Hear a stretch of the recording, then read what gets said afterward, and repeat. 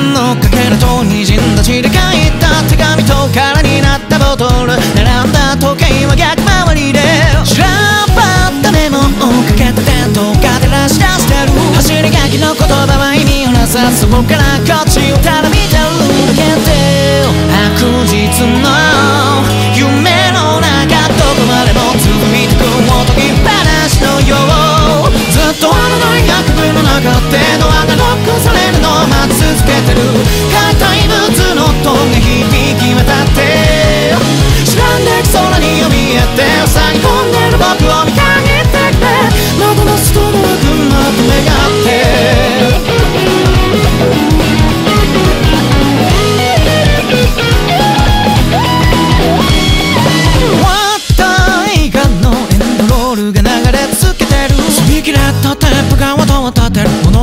続きなどないのに。壊れたラジオが途切れ途切れのノイズを出してる。どこにも笑わない。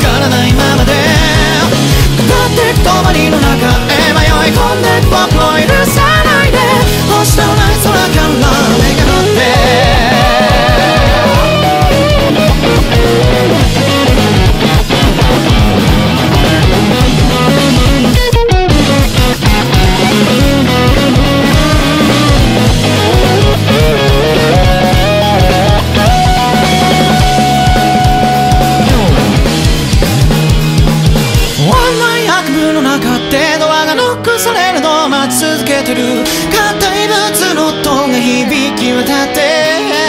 知らんだけ空に怯えて。塞ぎ込んでる僕を見限ってくれ。窓の外には。